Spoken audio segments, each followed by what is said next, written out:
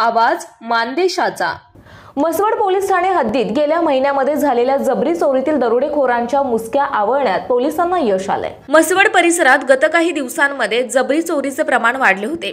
दिनांक एक ऑगस्ट रोजी रात्री एक वाजता मसवड येथून स्वतःचे मोटरसायकलने जात असताना शिक्षक दाम्पत्यास जबरी मारहाण करून गळ्याला चाकू दाखवून ठार मारण्याची धमकी देऊन दमदाटी करून हत्याराची दहशत माजवून जबरीने त्यांच्या अंगावरील सोन्या चांदीचे दागिने रोख रक्कम असा पंचावन्न हजार रुपयांचा ऐवज दरोडेखोराने चोरून नेला असल्याने प्राप्त फिर्यादीवरून म्हसवड पोलीस ठाणे गुन्हा रजिस्टर नंबर एकशे एकोणचाळीस बावीस भादवी कलम तीनशे ब्याण्णव चौतीस अन्वये गुन्हा दाखल करण्यात आला होता.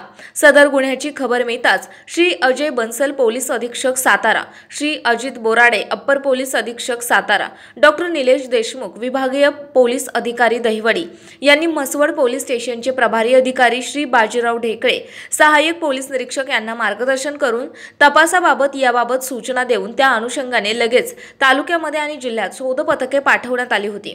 सदर गुन्ह्याच्या तपासात स्वतः सहाय्यक पोलीस निरीक्षक बाजीराव ढेकळे यांनी लक्ष घालून गुन्ह्यातील आरोपींचा शोध घेत असताना त्यांना आरोपी हे दरोडे टाकण्याच्या तयारीत आजूबाजूच्या परिसरात फिरत असल्याबाबत गोपनीय बातमी मिळाल्याने सहाय्यक पोलीस निरीक्षक बाजीराव ढेकळे यांना बातमी मिळताच विलंब न लावता आरोपी असलेल्या ठिकाणी पथकासह जाऊन सापळा रचून तीन आरोपींना पकडून जेरबंद करण्यात आले. त्यांच्याकडे चौकशी केली असता त्यांनी त्यांची नावे अनिल उर्फ संदीप लवटे राहणार मेडत तालुका माळशिरस जिल्हा सोलापूर कृष्णा रोहिदास भोंडवे राहणार राणंद तालुका माण जिल्हा सातारा आणि संतोष मानसिंग सूर्यवंशी राहणार कळकसरकरवाडी तालुका माण असे सांगून त्यांनी बाकी रस्त्यावरील जाणारे वाट सरूंना चाकूचा धाक दाखवून लुटल्याची कबुली देऊन जबरी चोरी केलेल्या मुद्देमाल पोलिसांनी हस्तगत केला आहे. मानसोफर न्यूज संपादक बापूसाहेब मिसाळ वरकुटे मलवडी.